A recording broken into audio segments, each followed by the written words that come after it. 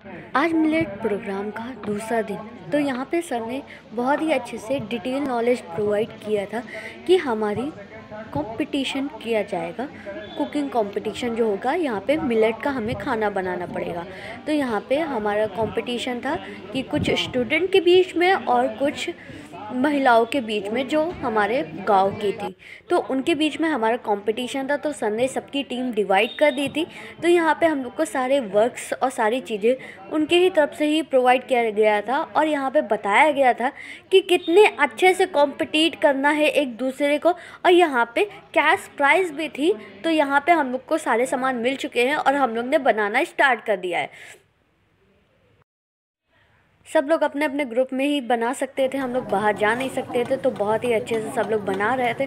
और सर यहाँ पे मिलेट का प्रोग्राम स्टार्ट ही कर रहे थे, क्योंकि यहाँ प्रोग्राम चल रहे थे और यहाँ पे ग्रुप वगैरह सारी चीज़ें क्रिएट हो रही थी। तो यहाँ पे शिवानी ने सारी चीज़ें बनाई है और सारे ग्रुप ने बहुत ही हेल्प किया है कि इसमें से क्या करना है हमें। तो हमें सारे सामान उनके तरफ़ से मिला था तो यहाँ पर हम लोग ने डिश वगैरह रेडी करी थी। तो यहाँ पर हम लोग ने रागी पाएँगे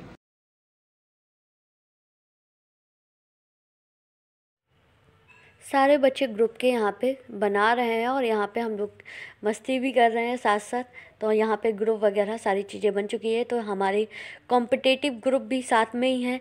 तो ये हमारा ग्रुप रहा, जहाँ पे हम लोग ने सारी चीज़ें रेडी कर ली है। और हमारे कॉम्पिटेटिव ग्रुप के ये रहा टीम तो यहाँ पे सारे लोगों का खाना वाना बन चुका था तो हमारे जज जो हैं वो टेस्ट करने के लिए आ चुके हैं। तो धीरे धीरे सब, उन्होंने सबका टेस्ट किया, उन्होंने नतीजा प्रमाण रखा। और यहाँ पे फ़र्स्ट, सेकंड, थर्ड प्राइज़ भी डिस्ट्रीब्यूट हुआ, जहाँ पे कैश प्राइज़ भी मिला कि फ़र्स्ट वालों को थ्री थाउज़ेंड, सेकेंड वालों को two thousand rupees and third वालों को फिफ्टीन हंड्रेड रुपीज़ तो यहाँ पर पूरी कैश प्राइज़ सबको मिली, सबने बहुत ही अच्छे से टेस्ट किया और सब प्राइज़ वगैरह डिस्ट्रीब्यूट होकर सब लोग खाना खाने लगे। Subscribe my channel follow for more जहाँ पे हमने बहुत ही अच्छे से मिलेट का प्रोग्राम कंप्लीट किया।